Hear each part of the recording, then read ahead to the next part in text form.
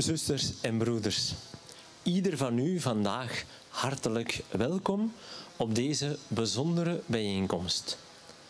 Onze gemeente bestaat 850 jaar.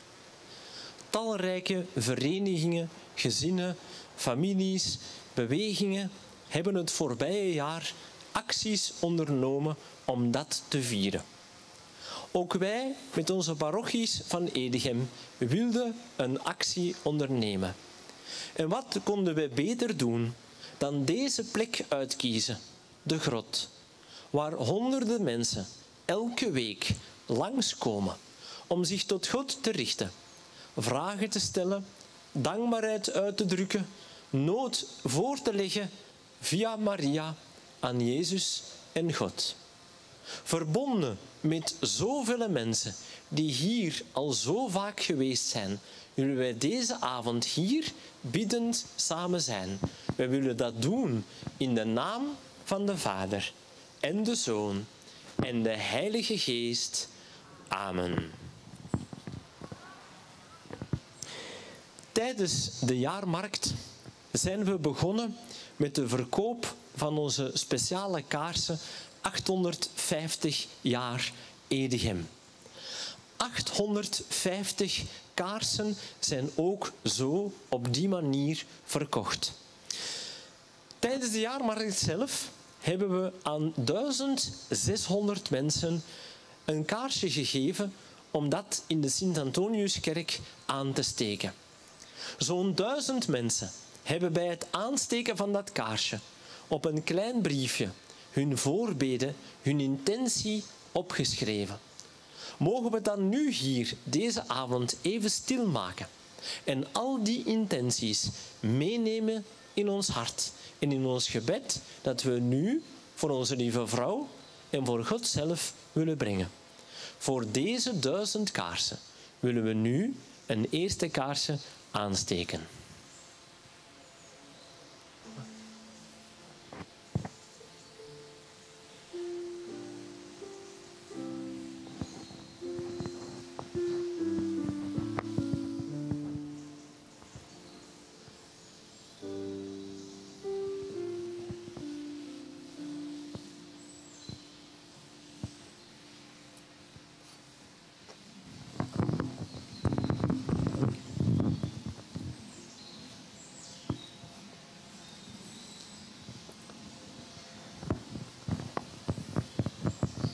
En we zingen samen.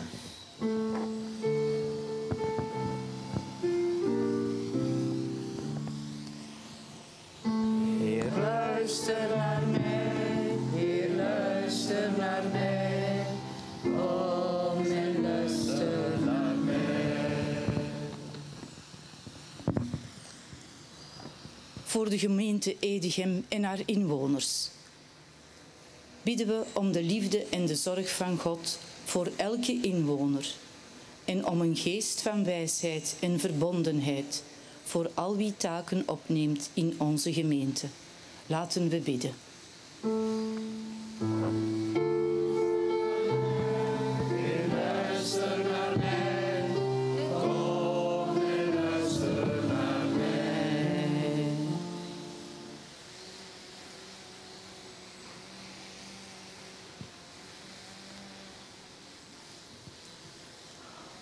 Voor onze kerkgemeenschap bidden we om Gods bemoedigende geest dat we samen in de voetsporen van Jezus mogen treden en in woord en daad de liefde van God zichtbaar maken in onze gemeente.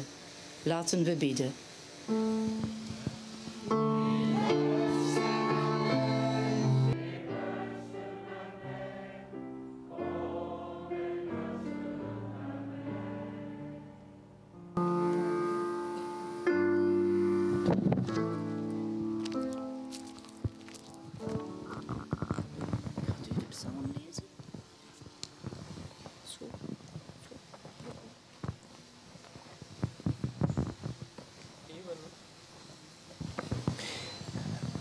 Wij staan met ons gebed vandaag niet alleen.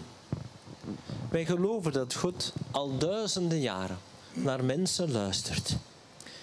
Duizenden jaren al bieden mensen psalmen om God om die zorg en nabijheid te vragen. Ook vandaag willen wij ons met een psalm tot God richten.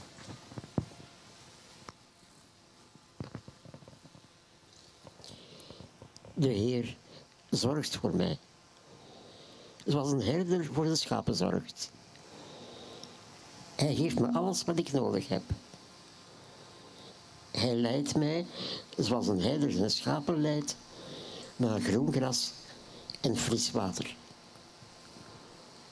Ik ben niet bang, ook al is er gevaar, ook al is het donker om mij heen. Want u bent bij mij, Heer. U beschermt mij. U geeft mij moed. U nodigt mij uit in uw tempel. U zorgt goed voor mij.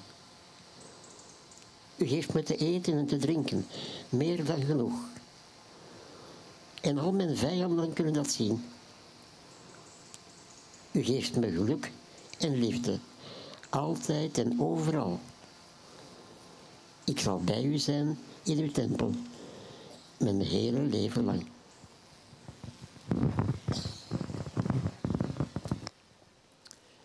U neemt mij aan zoals ik ben. U zuivert uit wie ik zal zijn. Wij vragen u, druk dan uw zegel op onze ziel en leef in ons.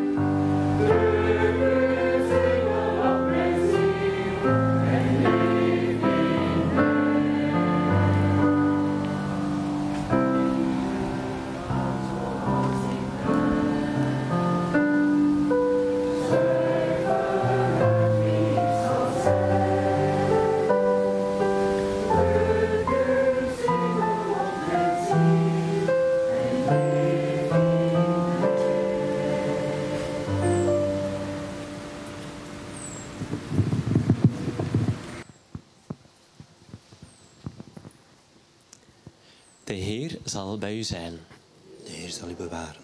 Wij luisteren naar het evangelie uit het evangelie volgens Lucas. In de zesde maand werd de engel Gabriel van Gods wegen gezonden naar een stad in Galilea, Nazareth, tot een maagd die verloofd was met een man die Jozef heette, uit het huis van David. De naam van de maagd was Maria. Hij trad bij haar binnen en sprak: Verheug u, begenadigde, de Heer is met u. Zij schrok van dat woord en vroeg zich af wat die groet toch wel kon betekenen. Maar de engel zei tot haar: Niet Maria, want gij hebt genade gevonden bij God. Zie, gij zult zwanger worden en een zoon ter wereld brengen, die gij de naam Jezus moet geven. Hij zal groot zijn en zoon van de Allerhoogste genoemd worden. God de Heer zal hem de troon van zijn vader David schenken en hij zal in eeuwigheid koning zijn over het huis van Jacob. En aan zijn koningschap zal nooit een einde komen. Maria echter sprak tot de engel: Hoe zal dit geschieden, daar ik geen gemeenschap heb met een man? Hierop gaf de engel haar ten antwoord: komen. En de kracht van de Allerhoogste zal u overschaduwen. Daarom ook zal wat ter wereld wordt gebracht heilig genoemd worden, zoon van God. Weet dat zelfs Elisabeth, uw bloedverwante, in haar ouderdom een zoon heeft ontvangen en, ofschoon zij onvruchtbaar heette, is zij nu in haar zesde maand. Want voor God is niets onmogelijk. Nu zei Maria, Zie de dienstmaagd des Heren, mij geschieden naar uw woord. en de engel ging van haar heen. Zo spreekt de Heer.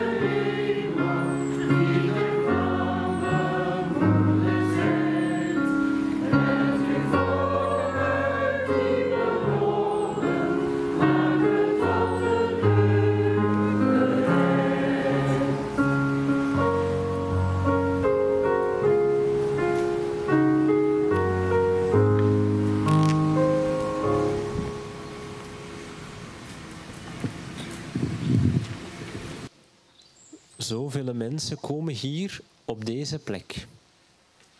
Sommigen hebben de woorden voor. Sommigen zeggen niks. Sommigen zoeken woorden. Voorzichtig en zachtjes. Onze kerk heeft van de engel woorden ontvangen. Die wij mogen gebruiken. Wanneer we Maria's hulp vragen en ons tot God richten.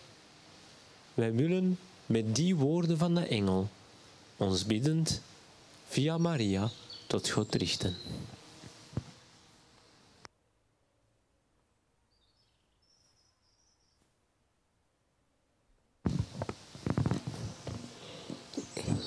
Wees gegroet, Maria.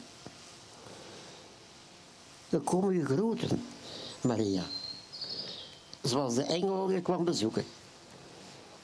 We kijken je aan We spreken je aan in het vertrouwen dat jij ook naar ons omziet.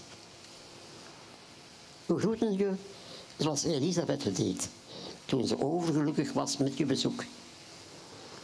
We komen je groeten, Maria, zoals herders en wijzen het ons voordeden toen ze jou en je pasgeboren kind hadden gevonden.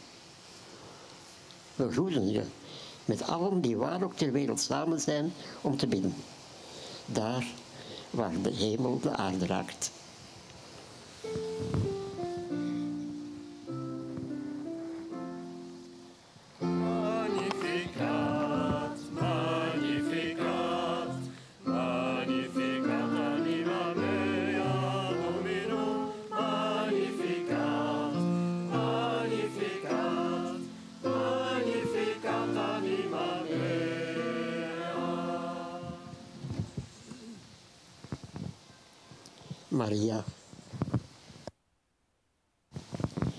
Maria, je mag van geluk spreken, zo door God geliefd te zijn.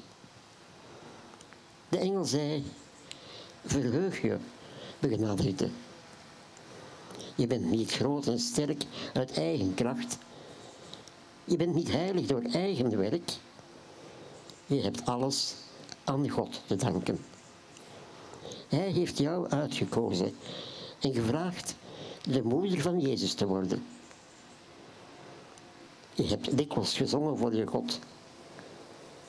Je noemde hem je redder, die zijn oog liet vallen op je kleinheid en je eenvoud.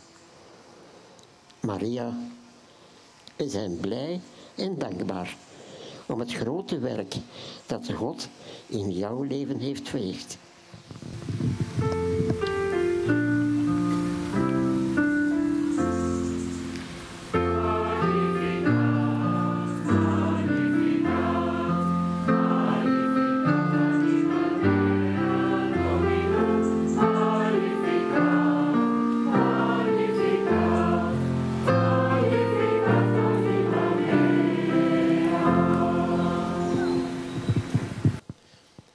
En mogen wij dan verbonden met elkaar, verbonden met al onze inwoners van onze gemeente, bidden voor hun zorgen, hun noden, bidden om Gods barmhartigheid en Heilige Geest. En mogen we daarvoor de woorden gebruiken die Jezus onszelf gegeven heeft.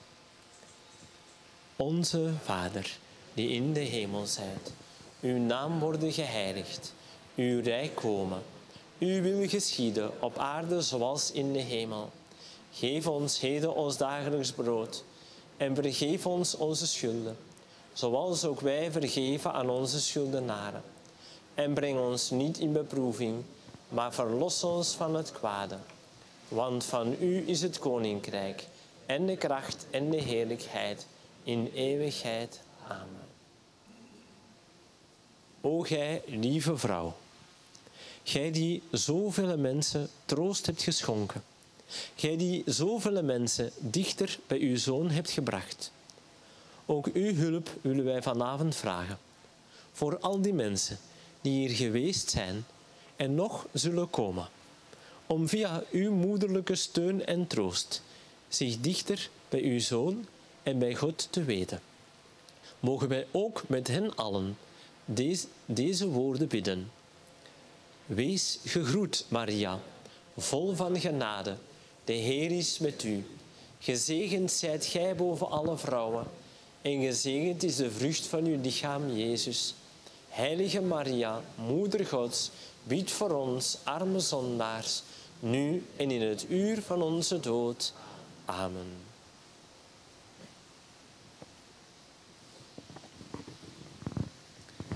Ik nodig onze misdienaars uit om te komen, om een kaars te nemen en mogen bij de piano gaan staan voor het slotlied.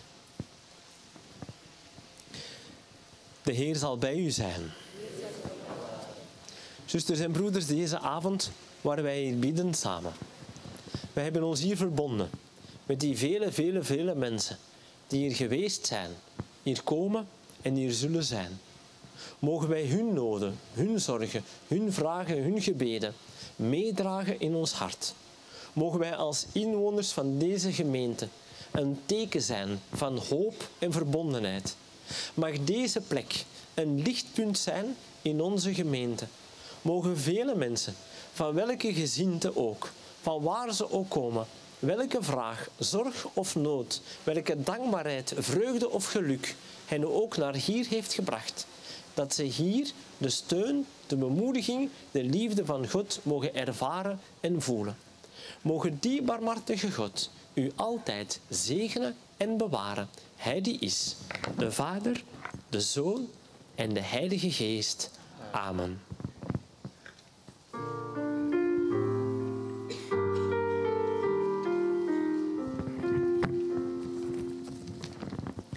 Salve Regina,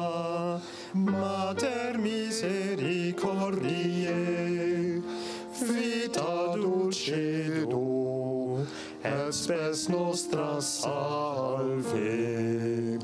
A te clamamus, exules filii Eve, a te suspiramus, gementes et flentes, in hac lacrimarum,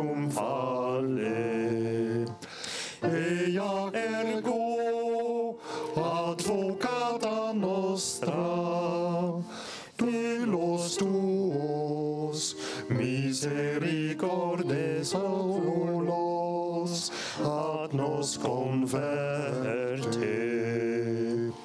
Et Jesum benedictum fructum ventris tui, nobis post hoc exilium ostende. O clemens,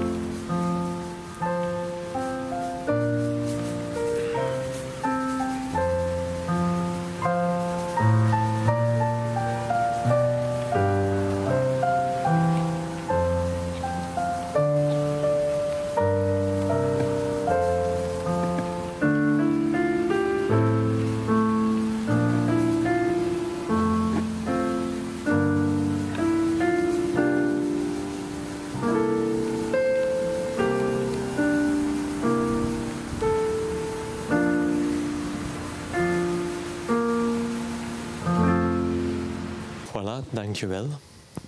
Om vanavond hier met ons dit bidden samen zijn te willen meemaken en bidden. Ik hoop dat u er veel deugd aan heeft gehad. Ik hoop ook dat wij op deze mooie manier al die intenties die op de jaarmarkt zijn opgeschreven, al die mensen die hier zijn geweest, hebben meegenomen en blijven meenemen. Dat deze plek een plek van verbinding mag zijn. Ik hoop stiekem ook dat technisch achter de schermen alles goed is verlopen. Dat we hier een mooie film van mogen hebben. En dat dat ook later op onze website mensen mag bezielen en mag tonen op welke manier wij eigenlijk hier biddend mogen samenkomen. Dank u wel aan al diegenen die die kaarsen hebben verkocht de voorbije weken. Het was een beetje een, eh, hoe zal ik het zeggen, een uitdaging. 850 kaarsen gaat dat lukken. Wel, we hebben dat zelfs overschreden. Ja, dat kon ik er straks niet zeggen, omdat dat symbolisch natuurlijk belangrijk is dat het er 850 zijn. Maar we hadden wat reserve eh, voor de zekerheid. En dus eh, in principe zouden er hier 900 en zoveel kaarsjes moeten ehm, staan branden. Dank u wel aan al wie zo'n kaarsen heeft gekocht. Dankjewel aan de mensen van het Basilica-koor die uh, de moeite hebben gedaan om een aantal mensen op te trommelen en hier vandaag uh, zijn geweest. Dankjewel aan onze diaken Luc van Hoof die uh, vandaag hier ook muziek heeft gespeeld. Dankjewel aan Nicole. Je wilt niet weten hoeveel uren Nicole sinds 1 september heeft besteed aan dit moment. Maar heel erg bedankt Nicole. Ik denk dat het resultaat er zeker mag zijn. Dankjewel ook aan Patrick, die mee in een vergadering dit moment in elkaar heeft gestoken. Dankjewel ook aan alle mensen die vandaag mee hebben gelezen, kaarsjes hebben aangestoken en voor um, de sfeer hebben gezocht. Dankjewel ook aan de technische ploegen, de mensen van Mortsel TV die dat dus maandag op hun kanaal uh, zullen zetten. Um, dank ook aan Dirk van de Poel, onze eigen technicus. Die um, heb ik foto's zien nemen, beeldmateriaal, die ook uh, ervoor gezorgd heeft dat die Ave Maria, die op voorhand was opgenomen, hier heeft kunnen uh, klinken. En... Um, en de misdienaars, uiteraard. Dankjewel ook aan de misdienaars. En Maria, die uh, vandaag hier was. De engel Gabriel, de echte Gabriel, die is op zakenreis in het buitenland. Maar uh, die is jarenlang misdienaar geweest. We vonden dat een schitterende figuur om Gabriel uh, te spelen. Dus ik zou zeggen, heel, heel, heel veel dank aan ieder van u deze avond.